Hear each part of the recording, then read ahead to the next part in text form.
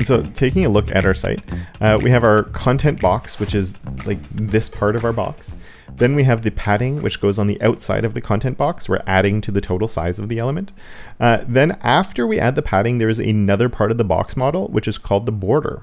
And the border is a lot like padding, but it has the advantage of it being able to be a different color from the background that you have.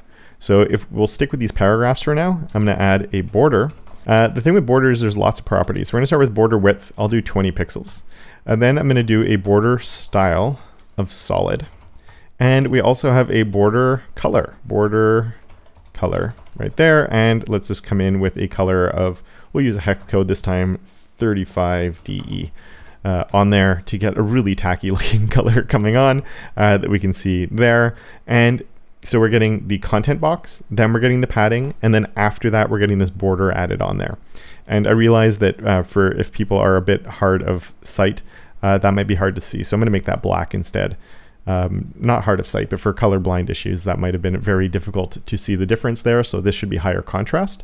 So we can see we have the, the padding coming in outside of the content box.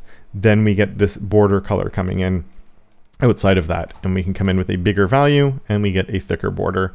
Or I come in with a smaller value and then we come in with a nice, a bit more of a smaller border on there.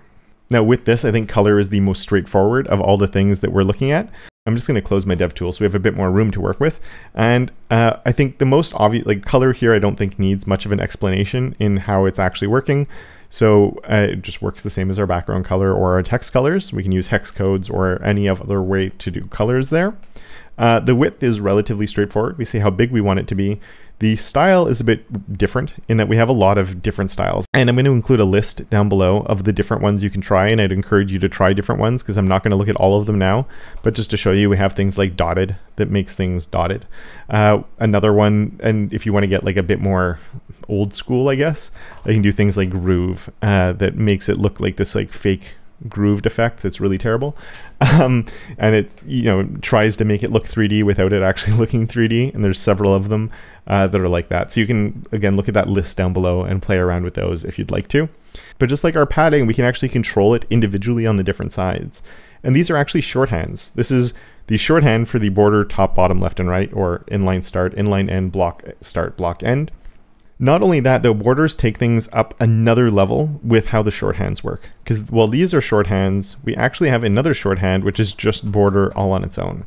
And this is probably the most common way that you'll write a border. So I want to focus on this for a bit, where let's just change it up a little bit. I'll say it's uh, 20 pixels. I'm going to come in with the same color we have here because it should be high enough contrast to be easy to see. Uh, and then I'll do dotted for now, just so we have something uh, that looks a little bit different. And we can see the dots come in along there. Now, the interesting thing with the border shorthand is the order that you put the different values in doesn't matter. So I could take my dotted and actually put it as the first value. And if I refresh here, it's still going to work. Or let's just change that over to solid for now. Solid is the one that you use almost all the time when you're using borders. Uh, so there we go. We can see the border is coming in with a solid border. And I can take this 20 pixels and I can move it to the end and refresh and it's still working and I'll reduce that down to 10 just so we can see that it does work. And so this is a really convenient thing with borders is that you just write border and then put three values. Solid almost every time, a color and then a size and you're fine.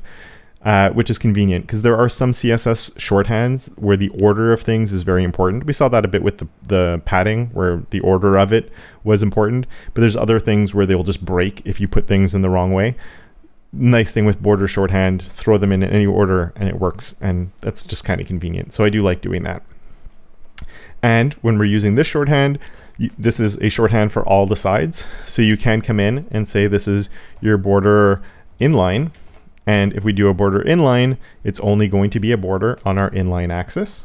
And as you might guess, if I change this to block, it will only be one on the top and the bottom because it's our block axis. I could also say this is my block end, and then that will only go onto the bottom of each one because we're on the block axis and the end is the bottom, or we could change that whole thing to an inline start and refresh, and then we're only doing it on the start.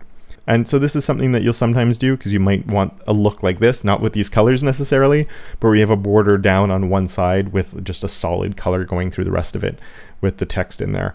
So yeah, having a border only on one side is something you might occasionally do. Or sometimes what you'll have is you will have your border with the regular shorthand. So then you have the border going on all four sides, but then maybe you want to choose only the bottom one and only change the size of it. So then we could say that's our border block end width.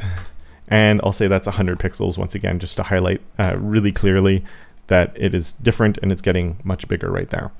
So I can choose the specific border I want and then choose the specific property. And if you wanted to, yes, you could change the color.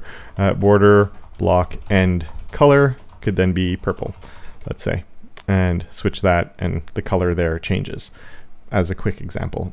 Probably not something you'd want to do with this color combination, uh, but that is a way that I often use it where I'll use the shorthand to set all the sides and then use the uh, like the specific one thing to change one of the values along the way there.